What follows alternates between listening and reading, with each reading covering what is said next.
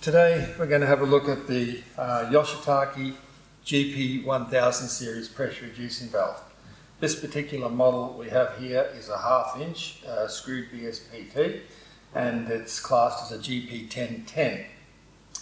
Now the, uh, there's a few differences between this and the GP2000. Uh, I call it the GP2000 little brother. Um, it has some of the uh, same characteristics when operating as a PRV, but it's not quite as versatile as the GP2000, uh, which you can get a lot more um, applications and additions and uh, etc. onto that unit. But this has a place within the, uh, the steam cycle. The GP1000 um, has only one spring, which is in there. You don't need to replace them for different uh, downstream pressures. This one uh, is set to operate between 50 kPa and 900 kPa, but has a maximum operating pressure of uh, 1000 kPa.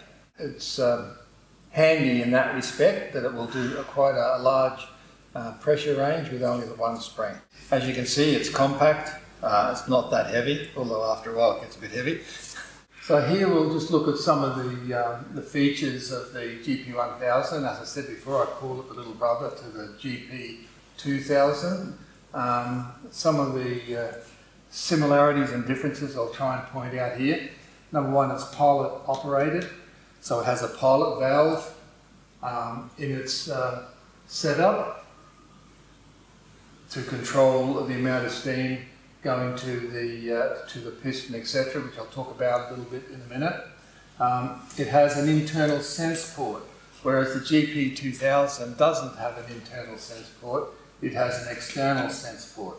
Um, and by external or internal sense port, I mean, in this case, the sensing port is within the body of the of the uh, GP1000. It'll be so it's going to be somewhere inside here. You can't see it, but there's a port in, in there which is sensing the downstream pressure. So it has the internal sense port, not an external sense port like the GP2000. The port is on this downstream side. Steam comes in here, basically, uh, on the high pressure side, finds its way up into the um, pilot valve assembly, um, and then when the spring pressure is applied up here within this little control area here by applying uh, a spanner to this um, adjustment nut here. It forces the spring tension down, which we were talking about before, spring that's in there. And that spring pressure then will have enough force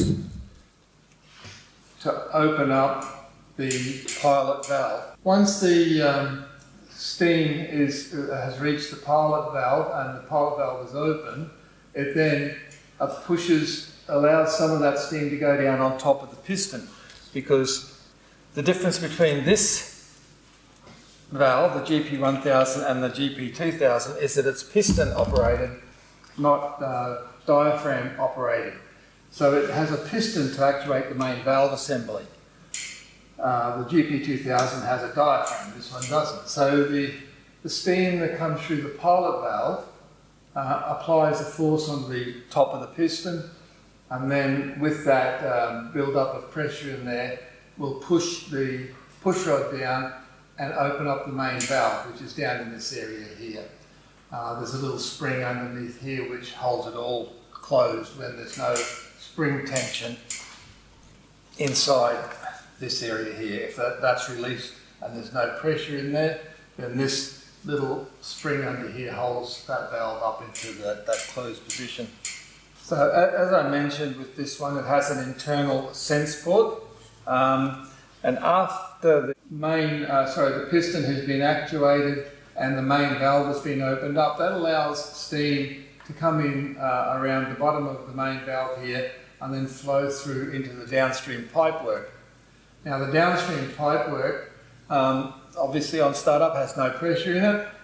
Um, we've, we've, applied a, a, a, spring tension on here, so steam is starting to move through. Now, as the pressure builds up in this downstream pipework, it will then uh, put a back pressure through this sense port, this internal sense port, and once that pressure is equal to or greater than the spring tension, uh, opposing the spring tension pressure, it will close the, the um, pilot, pilot valve off. Um, and depending on load and demand, it'll just modulate all day long, trying to maintain the downstream pressure that you set it at. Um, if we have a quick look at this little sketch I did here earlier, this is what the GP 2000 might look like. It would have an external sensor, and people may be familiar with the pipe that runs down from the sense port on the valve and into the pipework downstream.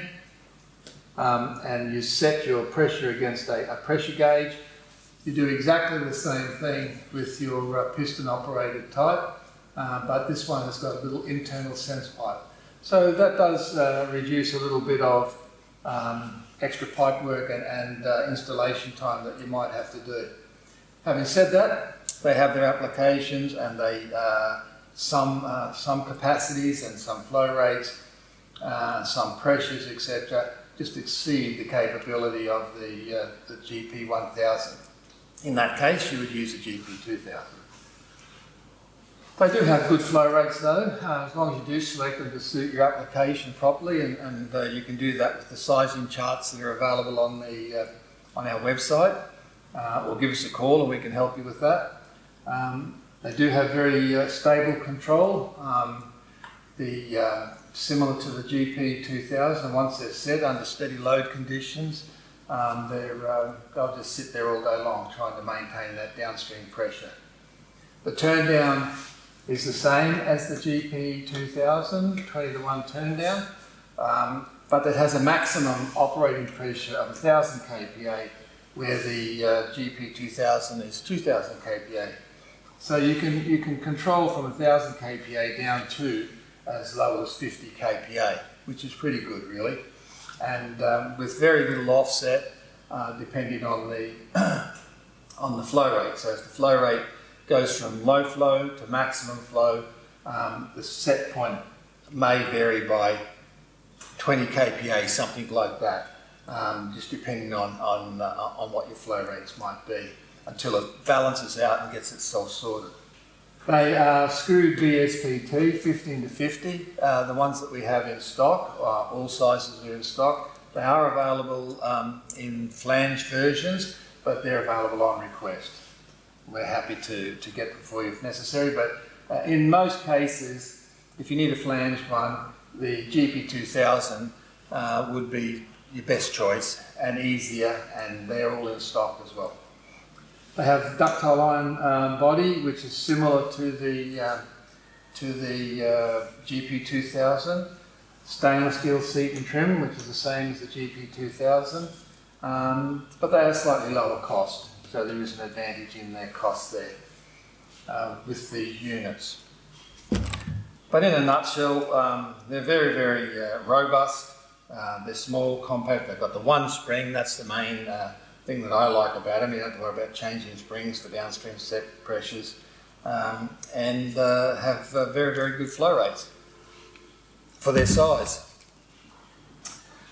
Um, with regard to applications, um, pretty much you can use them anywhere. Um, but I, I, sort of would prefer them, in, from my experience, to put this type of valve on a medium duty process.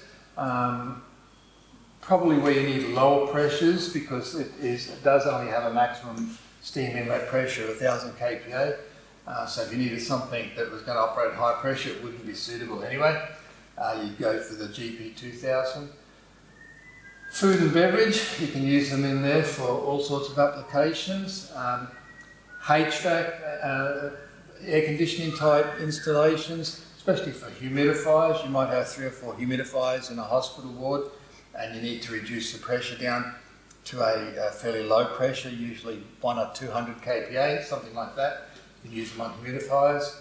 They can be used in tyre manufacturing, um, the timber industry, all your commercial laundries. Uh, in fact, they're perfect for commercial laundries and commercial kitchens um, because of their, their uh, agricultural and, and strength and endurance within the uh, installation of, of most steam systems.